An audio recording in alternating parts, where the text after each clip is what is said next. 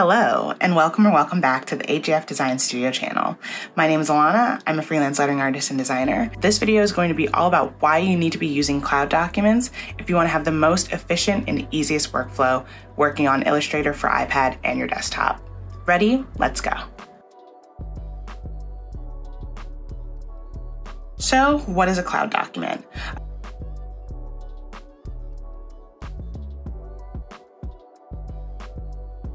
Here are some of the benefits of working with cloud documents.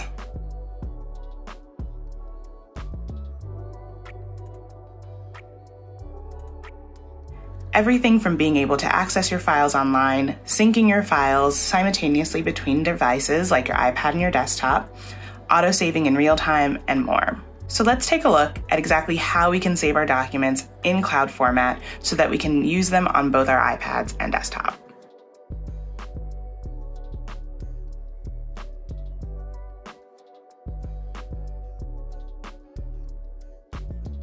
So the good news about working on Illustrator for the iPad is that as soon as you create your file, it'll automatically be saved as a cloud document.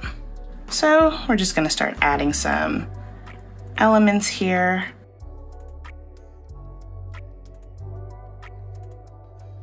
All right, so now let's say you're ready to save. So to save your document, all you have to do is hit this little arrow. And what I'm going to be looking for is that little green check mark in the bottom right hand corner. That is what tells me that my file is synced and ready to be viewed on any other device. So let's take a look to our desktop. So as you can see, our stars file that we just created on our iPad is available to open and view on our desktop.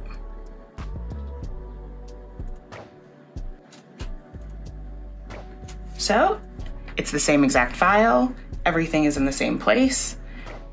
You'll also notice that this document, because it's a cloud document, has a little cloud icon next to the name of the file. So let's close this out. Let's create a new file, but starting on our desktop this time.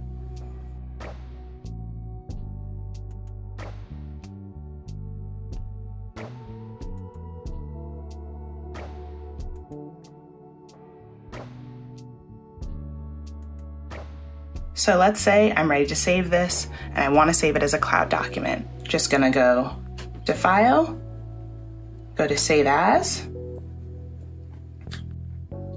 So you might be used to seeing this sort of dialog box pop up, but instead of saving it locally to our computer, we're going to hit Save Cloud Document. Going to name our document hit save.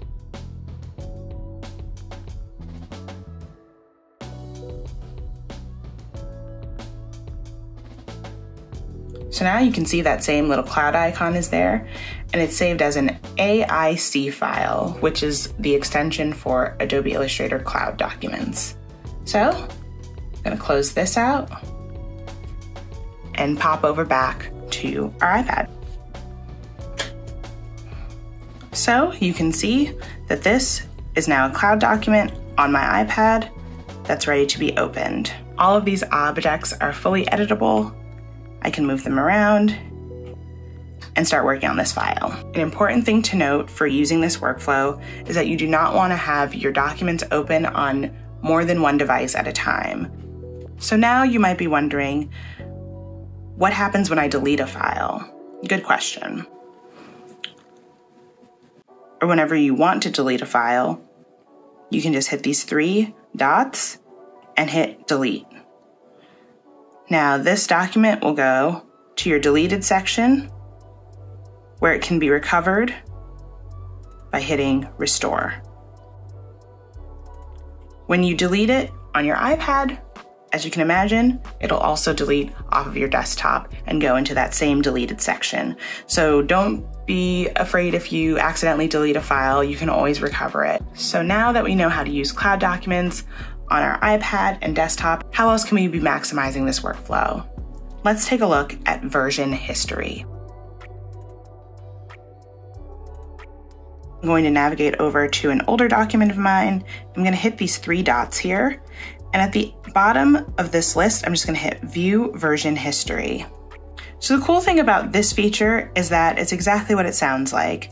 You will be given a list of every auto-saved version of this document and each change that was made. As you can see, everything is time-stamped. And the cool thing about this feature is that at any moment you can select one of these versions, hit these three dots, and hit revert to this version. This is a way that you can go back to that previous version and sort of ooh, save yourself. and here it'll say end of history and your versions will expire in 30 days.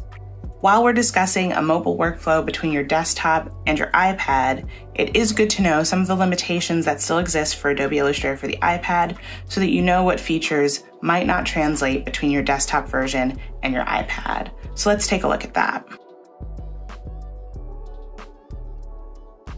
So as you can see, I've opened up another cloud document on my desktop and I started this one natively on my desktop. I've got two stars, one that's using a 3D extrude and bevel. So I use this 3D classic setting to extrude and bevel. And then on this, I'm using a gradient mesh. So I just use the mesh tool here to add some points to the star and add some color values to give it a kind of cool gradient mesh effect. So I'm gonna close this out. So now I'm going to open that same document on my iPad. So on the surface, everything looks fine, everything looks the same. But you'll notice I can make edits to this. I can add and remove points and sort of move this around. I can edit the color. So while I can make some changes to it, this is not something that I would be able to create natively in the iPad version of the app. And then interacting with this, going to double tap so you'll see a little pop-up will appear, object not supported on this device yet. So that's how you'll really be able to see what objects are not yet supported in the iPad version of Illustrator. So just keep an eye out. Note that I can't edit the points like I was able to on the desktop version. I no longer have access to those fine-tuned points in my gradient mesh. I can just move this around, I can shrink it and grow it, and do those kinds of things, but I won't be able to change these colors individually like I was on my desktop. Now the good thing is that once I bring the file back to my desktop, I can pick up right where I left off and all of my features will still be there. So, do you want to watch more Adobe Illustrator tutorials and learn more about Illustrator for the iPad? Check out my playlist over here. If you haven't downloaded Adobe Illustrator for the iPad yet, click the link in the description box below. Thank you so much for watching. Be sure to leave it a like, Subscribe if you haven't already for weekly videos, and I'll see you in the next one. Bye.